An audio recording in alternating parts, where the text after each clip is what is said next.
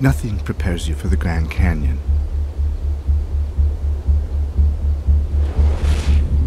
No matter how many times you read about it or see it in pictures, it still takes your breath away.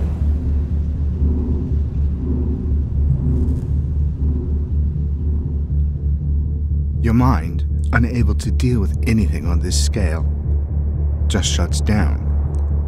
And for many long moments, you are a human vacuum without speech or breath, but just a deep, inexpressible awe that anything on this earth could be so vast, so beautiful.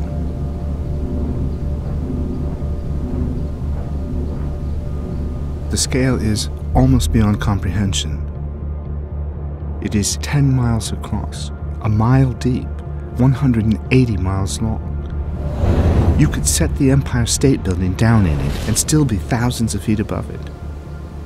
You could set the whole of Manhattan down inside it, and you would still be so high above it that buses would be like ants, and people would be invisible.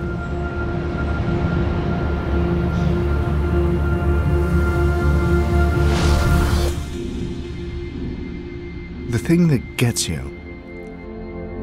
that gets everyone,